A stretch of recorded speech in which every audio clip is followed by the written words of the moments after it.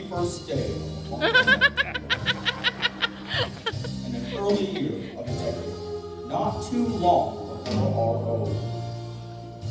The human race suddenly encountered a deadly threat to its very existence. This terrifying enemy surfaced, as such enemies often do, in the seemingly most innocent and unlikely of places.